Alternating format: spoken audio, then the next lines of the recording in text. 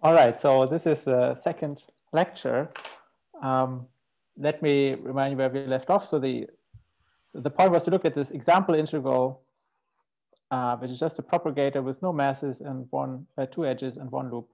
And we looked at the convergence domain. We figured out there's three families of poles that repeat in these uh, shifted sequences. And there's a tiny region of convergence and from the formula in terms of gamma functions, we knew that this thing was actually a meromorphic function. And now the question is whether this is a fluke of this simple one loop integral or this is actually more general. So, so this is the, the goal. So questions um, uh, given any Feynman integral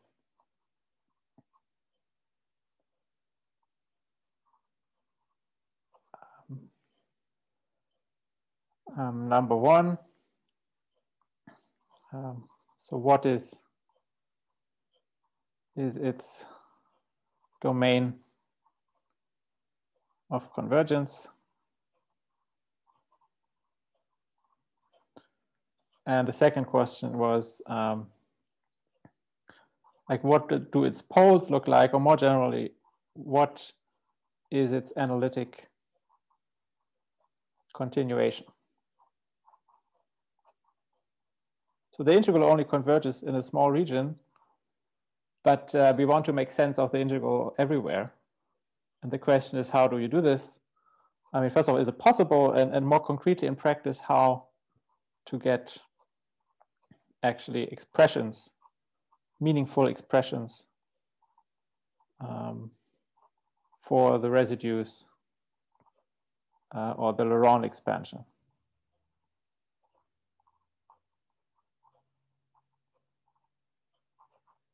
And well, a very broad, broad brush statement would be that the, the first is uh, solved by some generalization of power counting. And the second is uh, closely related to integration by parts.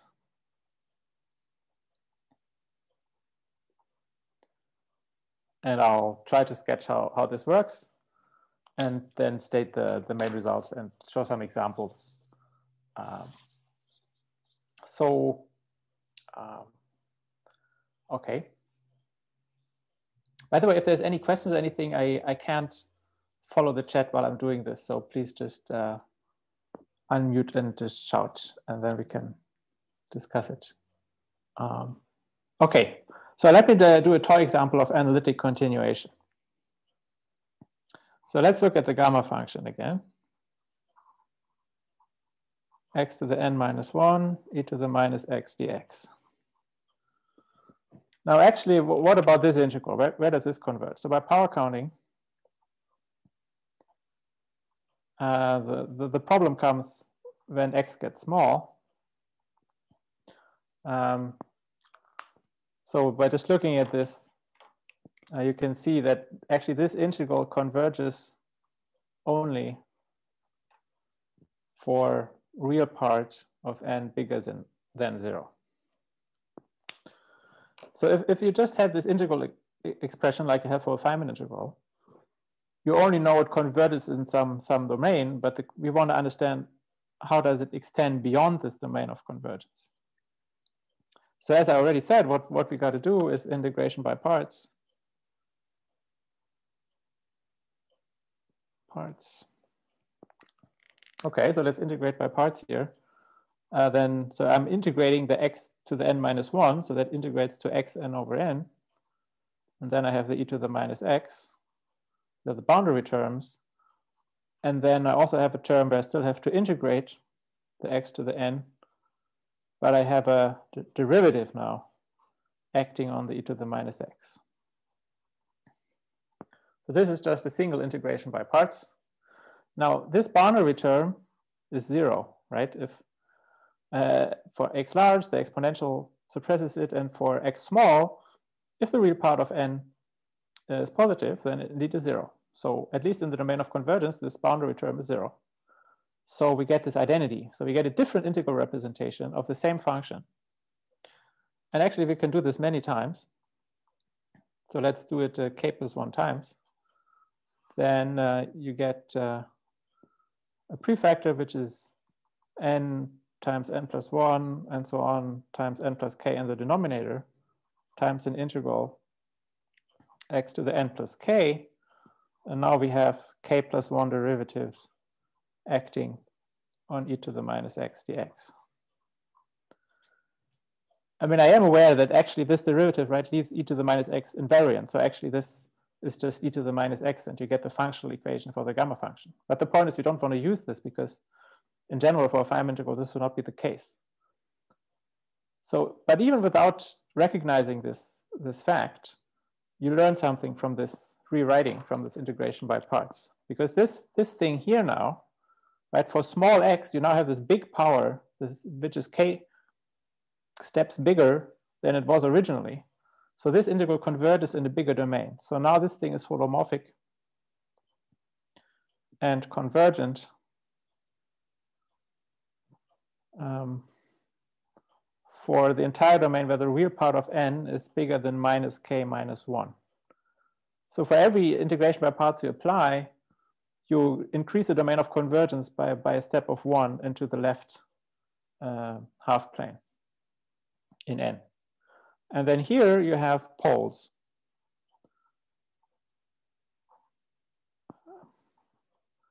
At 0, minus 1, minus 2, and so on. So what you learn from this is that this gamma function extends into the entire complex plane. Because wherever you are on the complex plane, if you do enough integration by parts, you get an integral representation that still computes the same function is and it, and it is an analytic continuation. So if you stay away from the poles, this is a holomorphic function. And since analytic continuation is unique, uh, there is no other way to do it. Um, so the corollary of this is that uh, the gamma function extends um, to a unique meromorphic um, function on C. So you can take uh, n, the argument, to be in the complex numbers anywhere um, with simple poles. Um, at the uh, non-negative integers.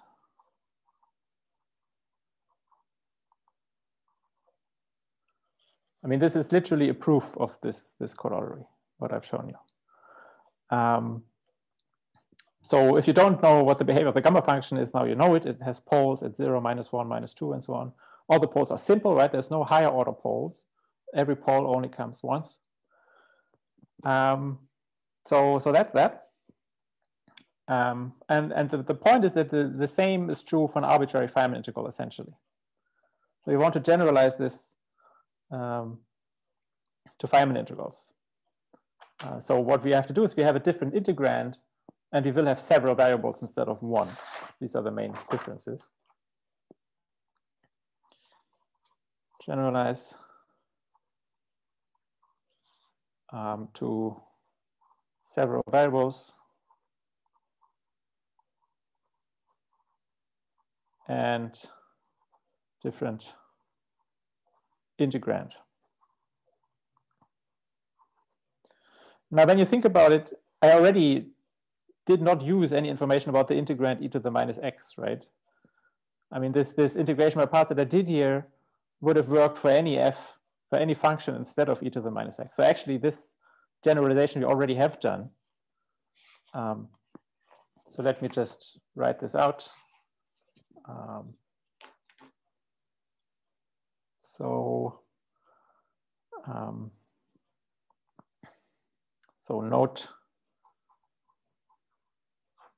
um, so in general, if we have this integral x to the n minus 1 of some function dx, I mean, I am assuming something. I am assuming that these boundary terms vanish, right? So I am using that the function x, f of x for large x falls off sufficiently fast, but this is always the case for Feynman integrals.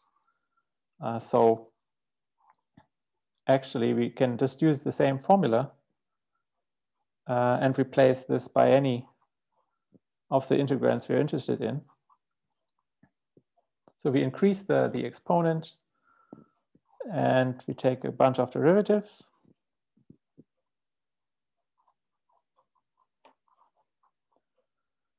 And, the, and this implies actually, you think about it, well, what happens now when you send n to an integer, to a negative integer?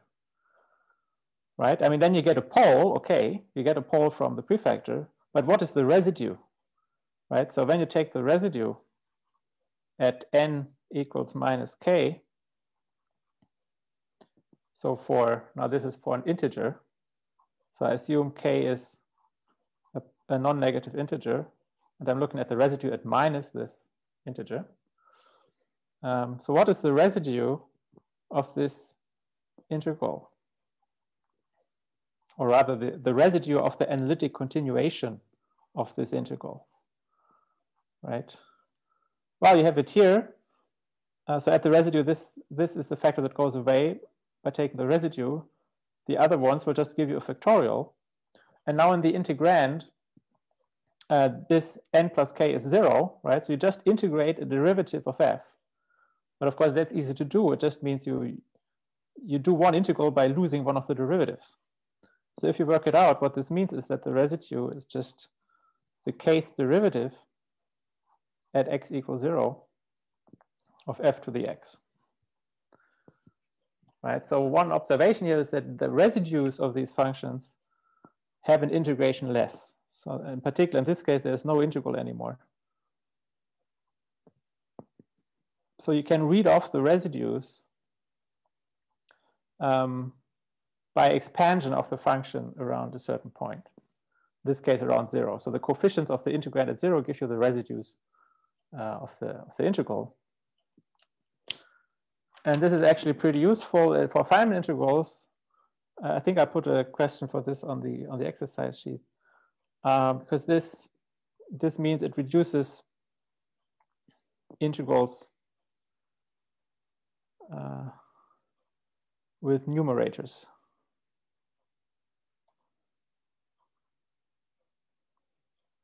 in momenta.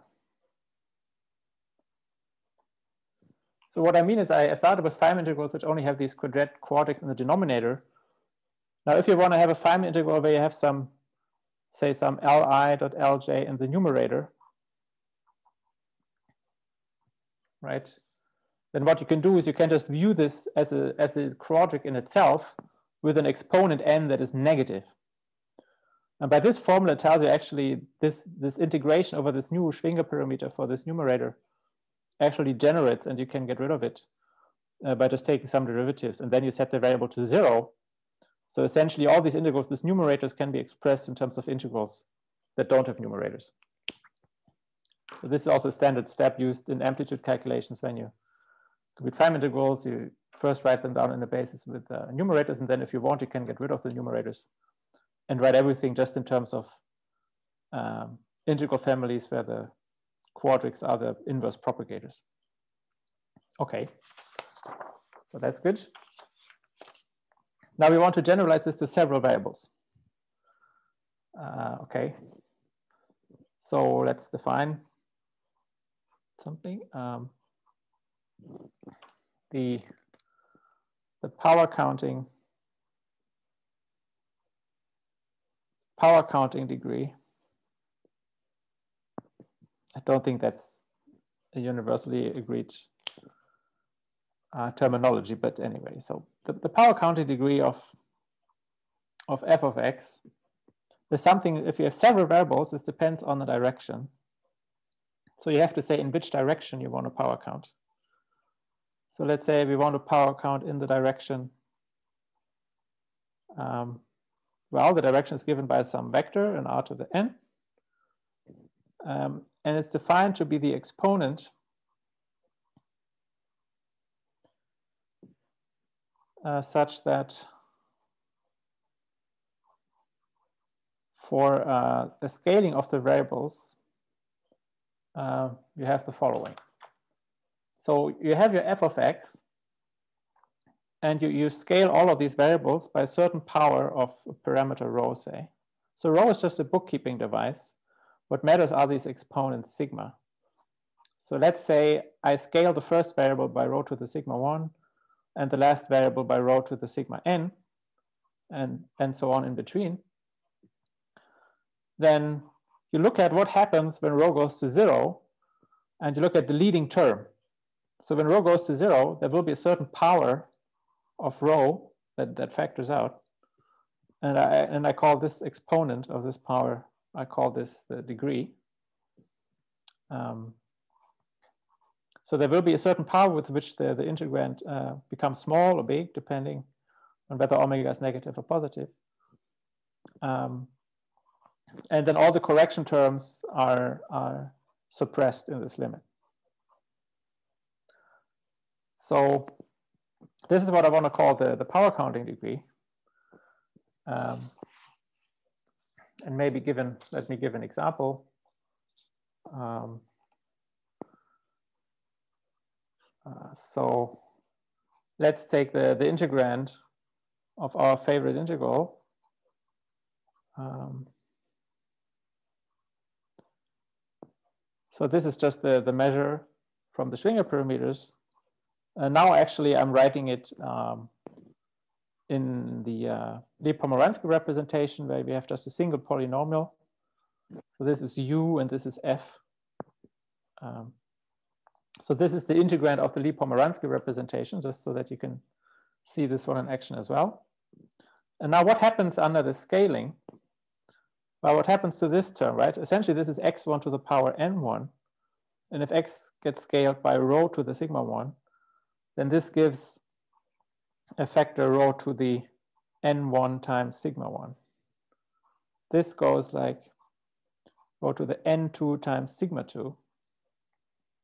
And now here it gets a bit more complicated because you have different terms, right? So the x1 goes like rho to the uh, sigma 1. This goes like rho to the sigma 2.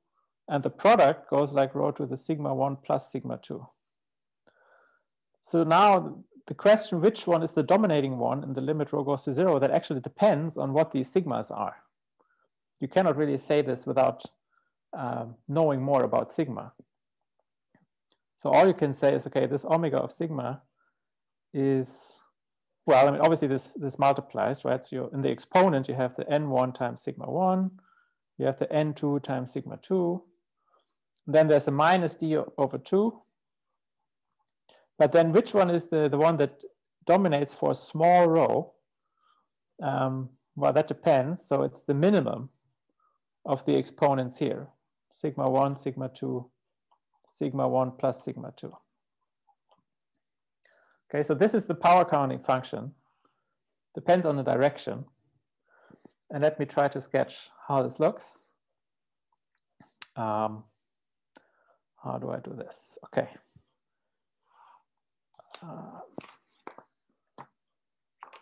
So let me try to draw a diagram.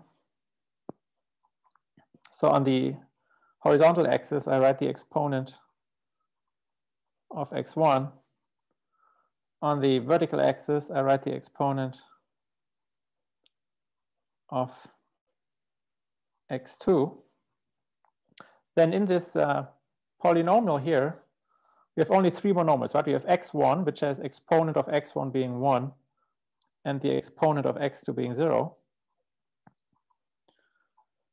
Then we have x2. So let me maybe write this. So this, this point here is the monomial x1, this is x2. And then we also have x1 times x2, right? So this is exponents 1 for both variables. So this is x1 times x2. Okay. Now what does this, this power counting degree look like? Or, or, rather, mostly this minimum, right? Because this term here always stays the same. So we're interested in, when this minimum changes. So let's suppose uh, I take a direction uh, like this, right? So, so let's suppose this is this sigma here, this is my direction. Then I want to look at the monomial such that the, the product with this direction is the minimum, right? So I can also write this, this sigma one here, right? This is the product of sigma with one zero. This is the product of sigma with zero one. And this is the product of sigma with one one right? So in order to figure out what the minimum or normal is, you, you choose a direction and then you come in this direction and you stop when you hit the first monomial in your polynomial. So this would be this would be the dominating monomial for a small rho if this is your scaling direction. Okay. Now let's change this direction a little bit. So let's choose this direction. Then we come from this side and still, it would still be that at this point we would stop and hit this, this vertex. But if we, if we keep turning further, then if, if we come from, from here, then suddenly we hit this x1, x2 vertex first, right? So once we say have rotated sigma further so that it points a bit down, um, then this is now the dominating monomial, okay? So what I want to illustrate is that somehow all this depends on is, is this triangle here, this polygon, right? So what you're doing is for every sigma, for every direction, you, you, you look at what is the first, when do you first hit this, this polygon, this blue thing? And that tells you what, uh, what the leading monomial is, what the minimum is. Now in this entire region here, when I'm in, in, in these kind of angles, it's always this x1 that I hit. So actually this minimum will always be the, the sigma 1. So it turns out that this function, this omega function, is, is locally like a linear function. And then at some point it swaps and becomes a different function when a different monomial hits. So let me just try to illustrate this. Um, so now let me draw a different diagram where I want to draw omega. So omega depends on sigma 1 and sigma 2. Um, and actually, I'm, I'm only drawing the, the minimum function here, yeah, because this is the, the tricky part. And then it turns out that the minimum changes only in certain directions, right? So as I said, when we come in this direction, we hit this vertex first, we rotate, we still hit this vertex first. Then suddenly when we're uh, when we have this direction, the horizontal direction to the left, then somehow both monomials are hit at the same time. And then from then on, if you turn further, this x1, x2 dominates. So somehow this direction, this that points inwards here, this is direction where, where it switches. In, the, in this angle, one monomial switches to the other uh, to become dominant. And the same happens at these other three. So basically you take the, the orthogonal vectors standing on the sides of this polygon, and this is when the power counting changes. So in this diagram here, we have a, a boundary where something changes. It goes to the left, so this is the multiples of uh, minus 1, 0, the vector pointing to the left. Then you have the vector pointing down. Um, and you have this diagonal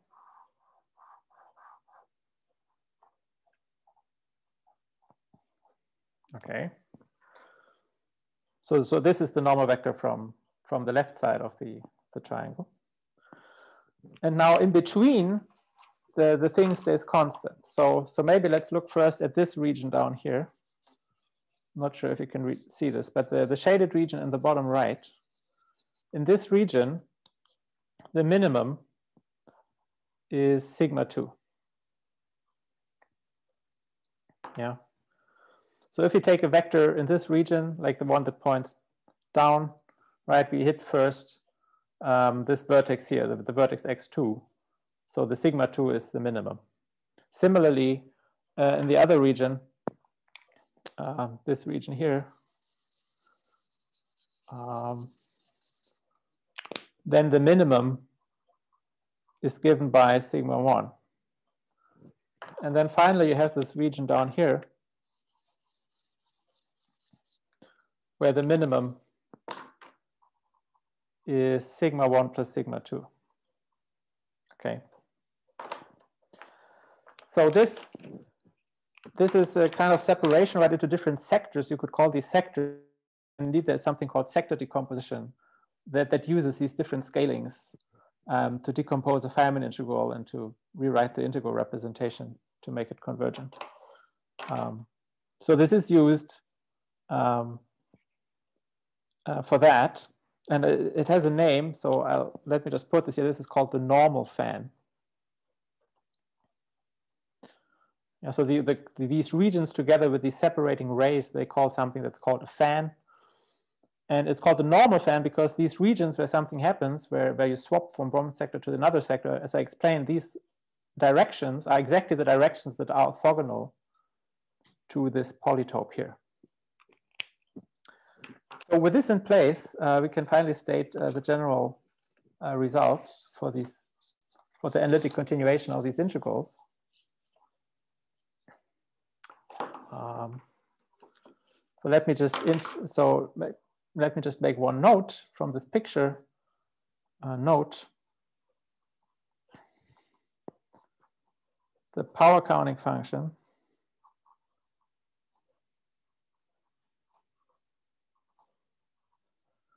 uh, switches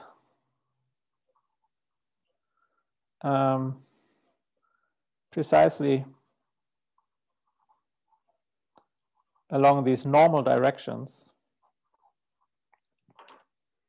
So more correctly, it's the inward, inward pointing uh, normal directions.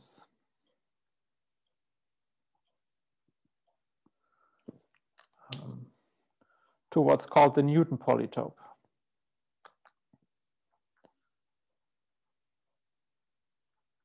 So what is the Newton polytope? The Newton polytope is this triangle on the left here. So this thing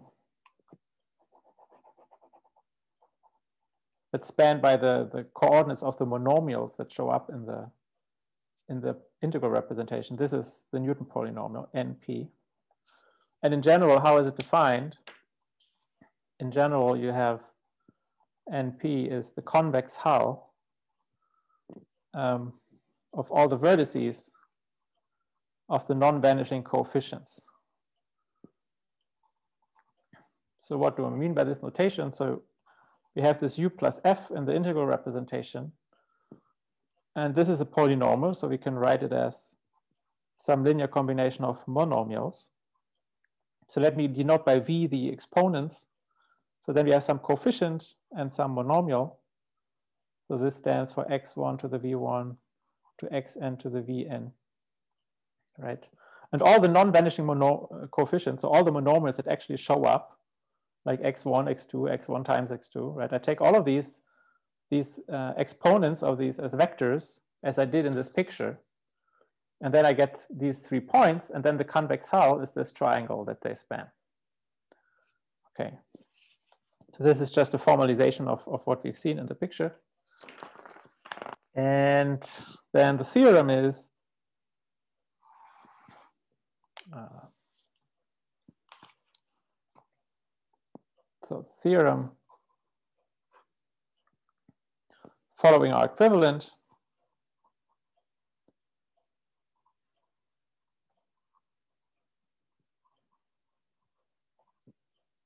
Uh, number one, this integral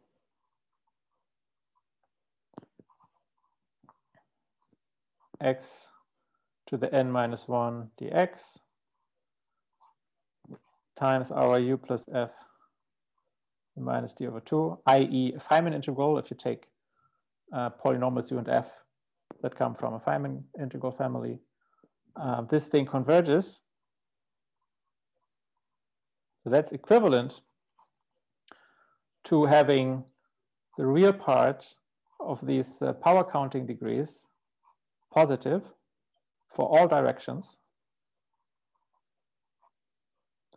uh, for all directions sigma, except of course for the zero direction.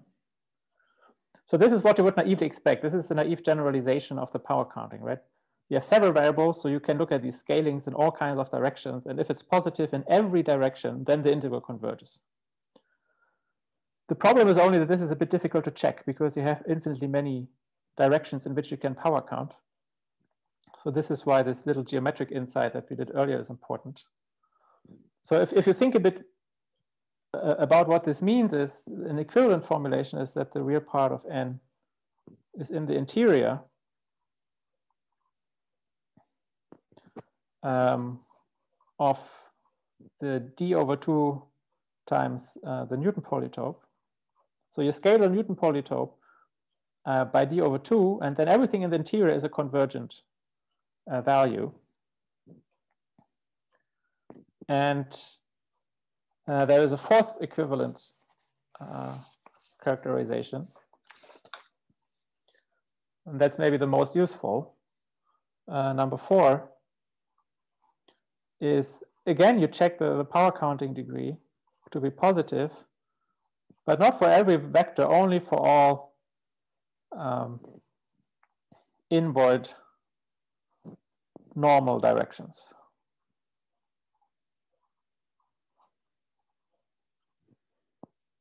And the point is that there's only finite. You have this polytope. It has finitely many normal directions. Uh, so this is something you can actually check. Okay. So just to, to remind you how that actually seen this before.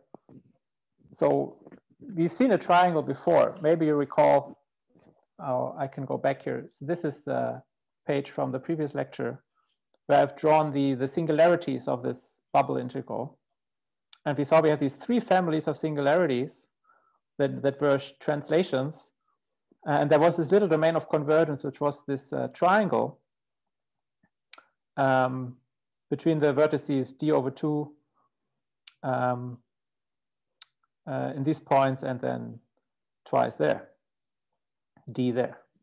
Uh, so actually, it is no coincidence that this triangle of, of the convergence domain is uh, the same triangle up to the scaling by d over 2 uh, that you see here. Right? So what I've done here is I've looked at the polynomial and I've written down the monomials that show up in this polynomial, x1, x2, x1, x2.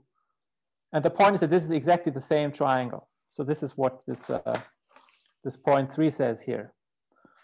Now you can always draw this. You, you look at the uh, polynomial u plus f, you take all the monomials, they span a polytope. And then if you multiply it with a dimension over two, you can read off what the convergent ends are. Uh, and this is always the case. So I, I hope that this illustrated this a little bit. Now, okay, let me just make one, one example here.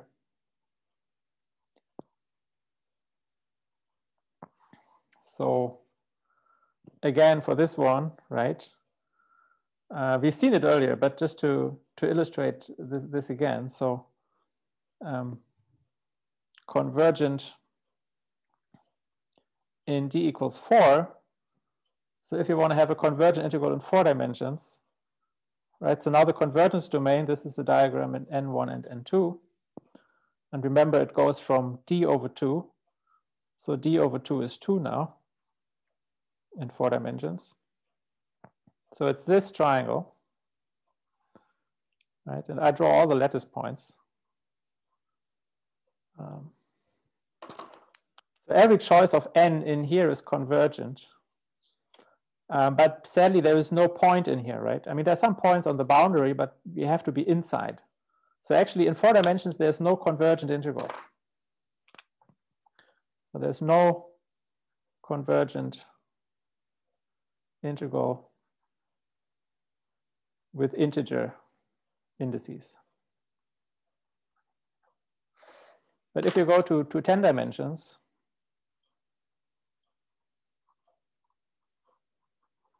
But all that happens is that this thing gets scaled, right? So in, in six dimensions, d over 2 is 3. So you go one, two, three. Um, so now you have a lot more integer points to play with. Um, and what is the domain of convergence? Well, it's again this triangle, but now it's a triangle uh, that goes from three to three. So this is the convergence region. And actually now there is a point that sits inside. So that's a convergent point. So the, the integral in six dimensions uh, with both indices equal to two. So this is convergent. Okay. So, so one thing you, you realize by looking at this, for example, is that uh, um, in, in large dimensions,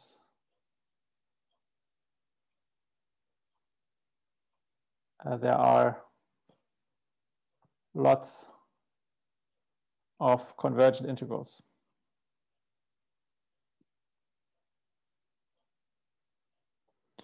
And uh, uh, in particular, this means there exists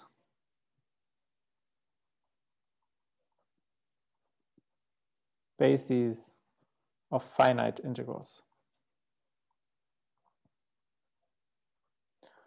So when you want to compute the epsilon expansion of an integral, uh, the integral representation, they can be singular in general, they will have singularities, but you can always uh, rewrite it in terms of integrals that actually are convergent. And once they are convergent, you can compute the epsilon expansion by expanding under the integral sign.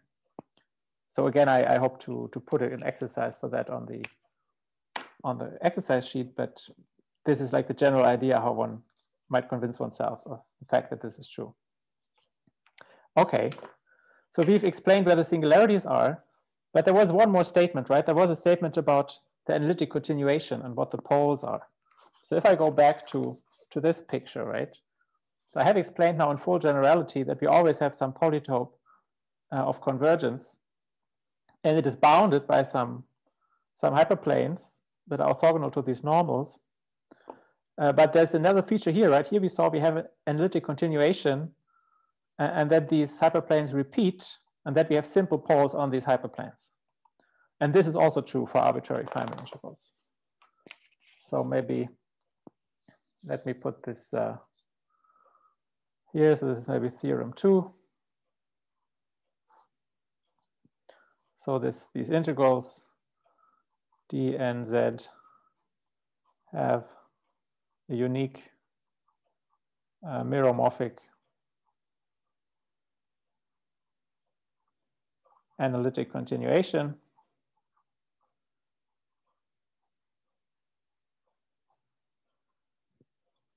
Um, and this continuation has simple poles um, at the hyperplanes. So the first statement is there is they have a unique meromorphic continuation. The second statement is it only has simple poles. The third statement is that these poles only appear on linear hyperplanes. In general, a function could have poles on some curved subspaces, but they are only on linear hyperplanes. And those are exactly the hyperplanes of the form where scaling degree um, becomes zero or minus one or minus two um, for the normals sigma of the Newton polytope. So this is just a straightforward generalization of what we saw in the example, and actually it works always. So once you understand these, these polytopes and these, this power counting, then you know exactly where the poles are. And actually you can compute the residues as I, as I explained earlier. Uh, you do these integrations by parts and you can write down formulas for the residues in terms of simpler integrals. And maybe I'll close by uh, explaining this in some examples. So this is about residue factorization and power counting. So let me do a special case. Special case of a divergence. This is ultraviolet. So what are the ultraviolet divergences? So these are called UV. And I also I will specialize two graphs. So as I explained earlier, you can always get rid of numerators. So for in the end, you can always boil down the power counting if you want to. You can reduce it to, to graphs, um, Feynman integrals without numerators. So where every of these quadratic forms is of this form mass squared minus momentum squared. So if you're in such a situation, um, you can write down formulas for, for some of these degrees of divergence. So let's take a subgraph So you take some of the edges. Um, so I call the subset of the edges here a subgraph. And now if we scale just the edges in the subgraph all with the same unit scaling. So we send xe to xe times rho um, for all edges in the subgraph. Right, so this means um, in our previous notation that we're looking at the scaling direction sigma, where we have uh, only two types of indices. Every power scaling is either zero or one. And the ones where we have one, those are the edges in the subgraph. And all the edges not in the subgraph, they don't get scaled. So this is a very special scaling where we only have two types of coordinates. Now, if we have such a scaling, then first statement is um, the u polynomial of the graph. So now I just write the subscript to indicate this is the u polynomial of the original big graph. So under the scaling, the leading order of rho that comes out is the loop number of gamma. And this is the first statement, that the power of rho is the loop number. The second statement is the leading coefficient in this limit factorizes into the u polynomials of the subgraph and the graph that's called a quotient graph that you get by contracting the subgraph to a single vertex. I'll give an example of this uh, in a second. And then you have higher orders, of course. But to leading order in this scaling limit, um, you get this product of two graphs. And a similar thing happens for, for the second polynomial, fg. So again, the, the leading power of rho is the loop number of the subgraph. You get the u polynomial of the subgraph and now the f polynomial of the quotient graph. So again, it, it factorizes. Um, so this is actually also a nice exercise. So if you use the description in terms of spanning trees that I gave in the last lecture, it's actually a pretty straightforward combinatorial exercise to prove these factorizations and this power behavior. So you're invited to, to convince yourself of that if you want. It's not, not that difficult. Um, but what do we learn from this, right? So this is the leading order, right? And so this means that u plus f also goes to this order. Um, so we conclude that uh, conclude that um, the omega, uh, the scaling in this direction is given by, well, remember we always had the, the product of the n's and the sigmas coming from the integration measure. Now in this case, um, the sigmas for the subgraph variables are all one, so we just get the sum of the n's in the subgraph. And then we get minus d over 2 times the omega times the scaling of of the uh, u plus f polynomial, but this is given by the loop number as these equations show. Right. So actually this is nothing but the, the superficial degree of convergence that are defined at the very beginning of the subgraph, right? So if you would view the subgraph as a graph in itself, then this is just the sum of all of its indices minus d half times the number of its loops. So this is the power counting for an ultraviolet subdivergence. Um, but there is a second statement that you need. Um, so this is lemma two, this is for infrared divergences. So now suppose that um, that um, the subgraph contains all massive edges and that the subgraph connects all external momenta, all external legs of the graph. So if you think a bit about this, then this implies that the quotient graph has vanishing polynomial right? Essentially because the quotient graph doesn't have any massive edges because the massive edges have all been contracted. And also in the quotient graph, every external leg is at the same vertex. So by momentum conservation, the external momentum is zero. So this quotient graph has no momenta and no masses. So this F polynomial has to be zero. So what this means is that in this case, this equation actually doesn't tell you anything because this factor is zero. So actually the loop number is not really the, the proper leading power because actually it vanishes to one order higher. So the question is what happens then? Um, so then you have a different factorization formula. Then you have um, that uh, the f polynomial goes like the loop number of the subgraph plus one. And now that the orders are reversed, so now you get the u polynomial of the quotient graph and the f polynomial of the subgraph. Um, okay. So this makes sense, right? Because every, the, the subgraph has all the external legs. So it really makes sense to consider a subgraph as on its own with the external data of the bigger graph.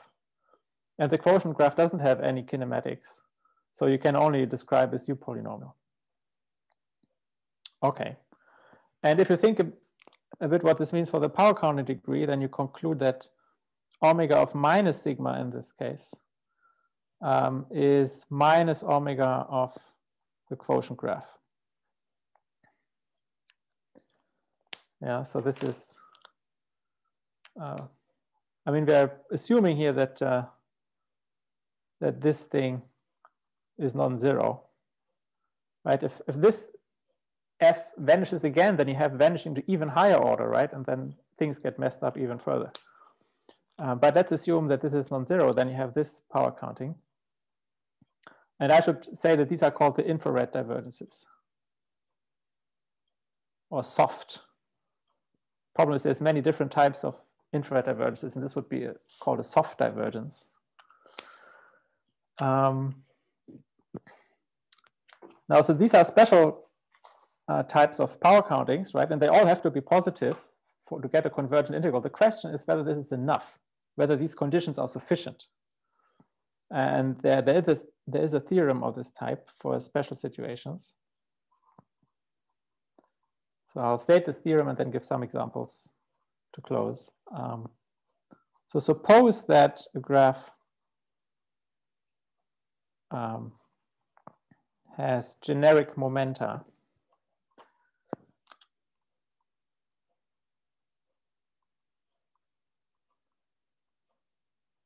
So this is to exclude this possibility that uh, um, you could have this vanishing without having all the massive edges and legs connected, or that this thing might even be zero.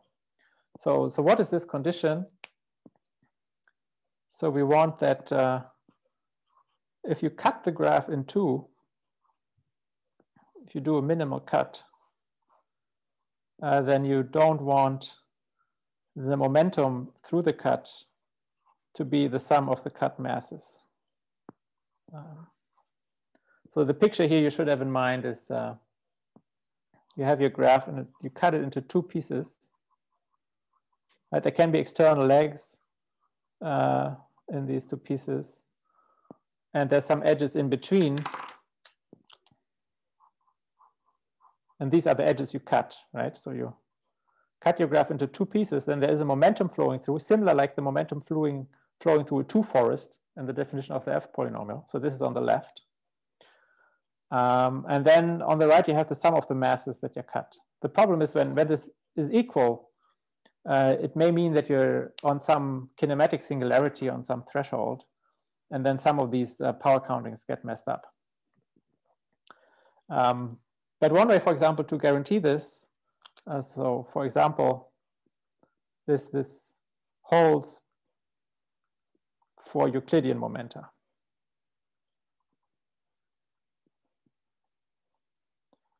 If you have Euclidean external momenta, this is fulfilled. Um, because for Euclidean, in my convention with my metric, right, it means that the left-hand side is negative. And if the masses are positive, they, the left and right-hand side can never be equal, right? So these degenerations is really a Minkowski phenomenon. If you have Feynman integrals that have a Euclidean region, then you're fine. Then you don't have to worry about this problem. So this is assumption. Suppose we are in this situation. Um, then, then the UV and IR divergences from above um, those are all divergences.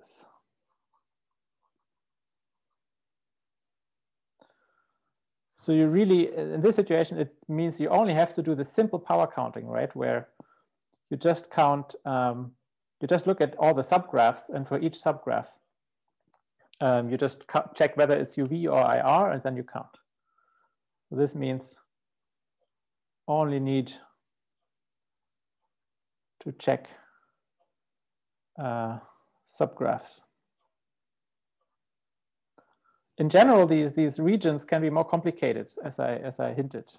Right? So the special thing is that here, we're only looking at, at simultaneous scalings of the same speed. So all the variables are either staying the same or they go with, with the power rho to the one to zero. But in general, you could have situations where some variables go quicker to zero than others. And then the sector decomposition becomes more complicated. And, uh, and I will put an example on the exercise sheet, but in, in the case here, this is this cannot happen. And indeed, you know that this is everything. So let me just close with, uh, with some examples. So for these examples, let's consider all the indices to be equal to one. And let's work in four minus two epsilon dimensions. Right, so if, if you take, for example, the graph, following graph, um, so what does this graph look like? Uh, okay, so I take a graph with one momentum going in and out again.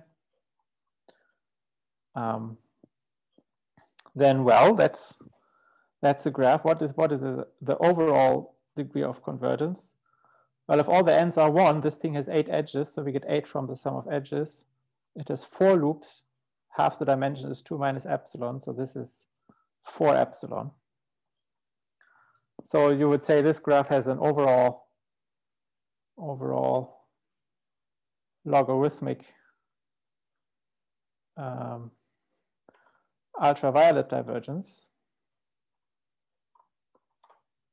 Okay.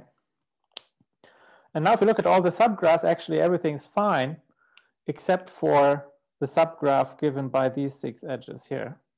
So if you look at this subgraph, if this is gamma, then you find that omega of the subgraph, well, this subgraph only has six edges and three loops.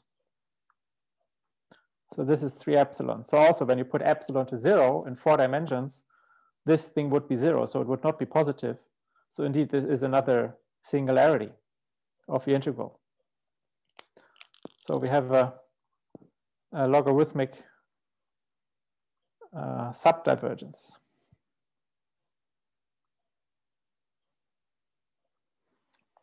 Okay. Uh, ultraviolet again in this case. And then one thing to, to note that follows from the, the factorizations I mentioned earlier.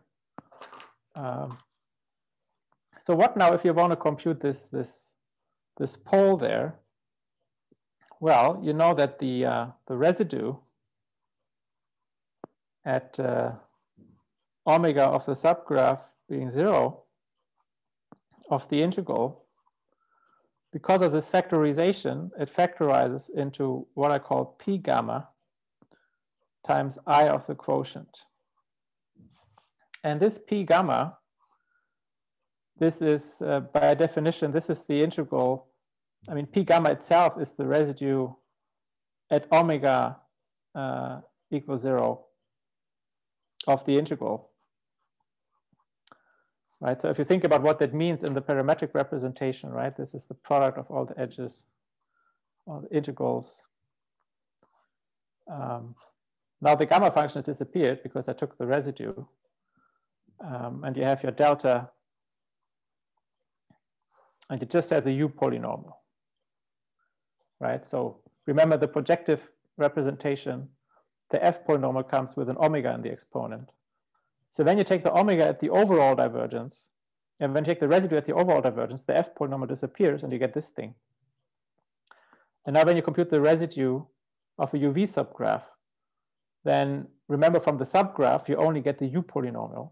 So this is why you only get this kinematics independent part that is called the period. And then from the quotient, you still have the F polynomial. Um, so this is what you get here. So in this case, this would be um, the period of this, this graph times the integral of the quotient graph, and the quotient graph in this case is this bubble. Um, okay. And that bubble has itself a pole. Yeah, because it has an overall divergence. Um, but you know what its residue is, right? It's the period of this bubble. So what this means is that uh, the double pole, um, so this, this integral of this graph, um, right, in near four dimensions, this has two poles. There's a one over four epsilon, uh, three epsilon from the subdivergence, and there's a one over four epsilon from the overall divergence. Um, and what are the residues? What are the coefficients? Well, there are these, they are these period things of the subgraph and the quotient graph. And then, of course, you have higher orders. So that there would also be first order poles and higher order terms. Yeah, but what this factorization tells us that you can relate the higher order poles to these products of integrals of sub and quotient graphs. So actually, if you if you care about it, this is actually one, and this is six zeta of three. So these real integrals are very well understood. Um, so in this case, it tells you how you can predict the, the second order pole in terms of the sub and quotient graphs. Okay, I'm already running over time. I'm just doing one more example uh, and then I'm stopping. So for the infrared, so let's do infrared example.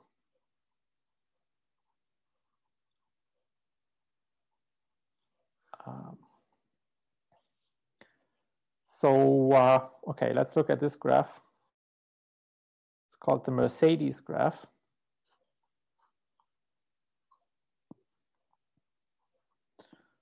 So here, uh, again, I want to set uh, the, the indices to one, the dimension close to four minus to epsilon.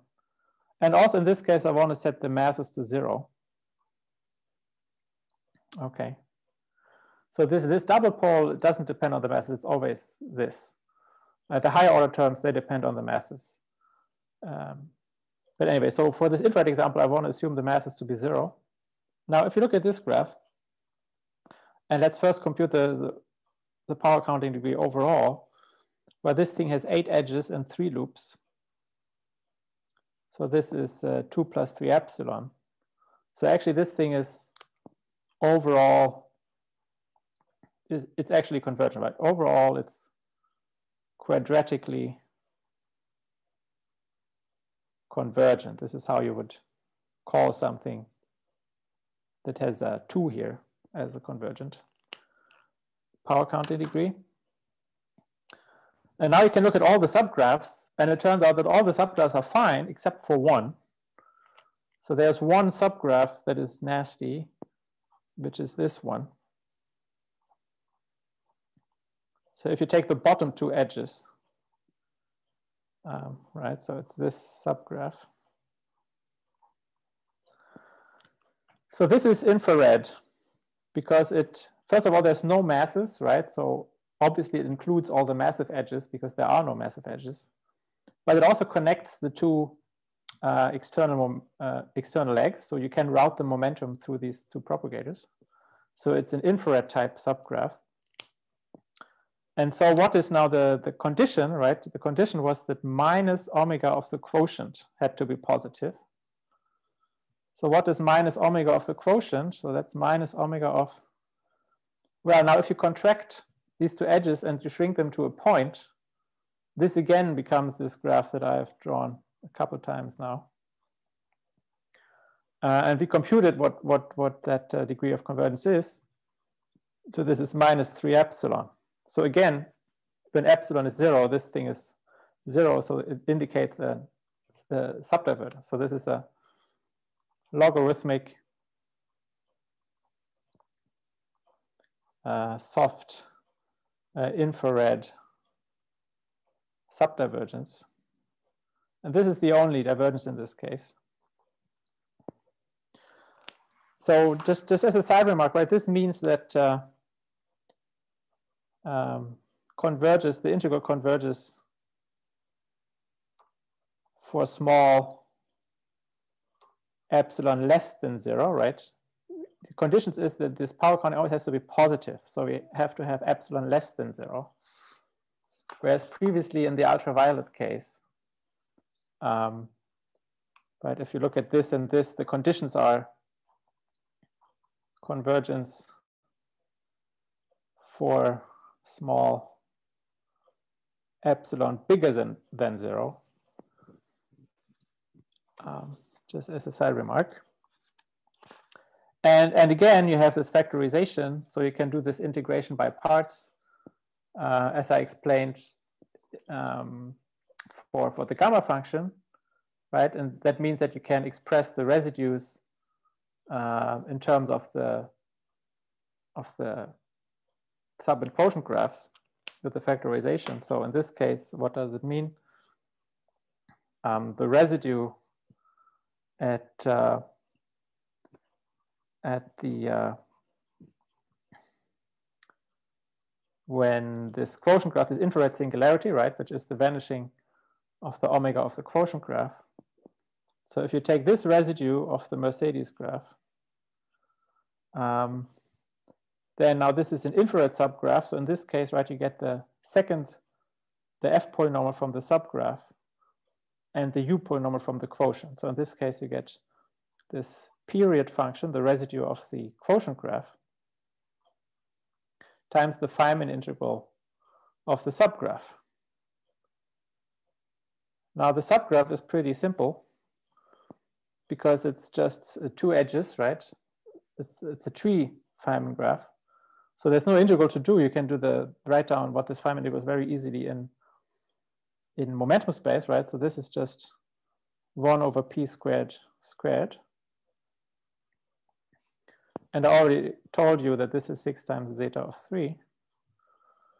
So this tells you that uh, in the epsilon expansion of this Mercedes integral, right, you have, uh, uh, you have this coefficient six zeta of three.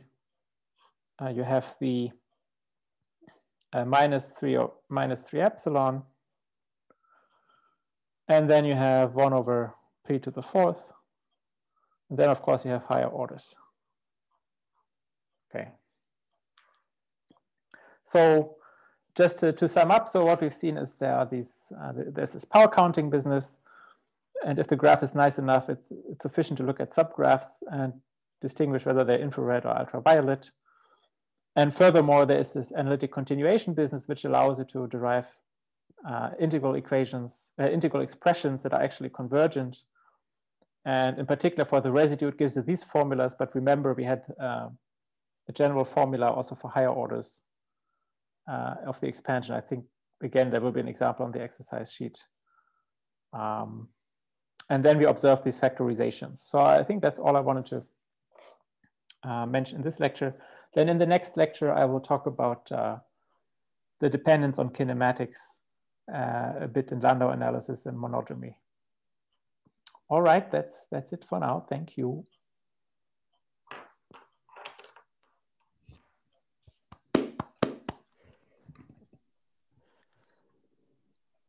Maybe I can turn the camera around again. Uh, where is this?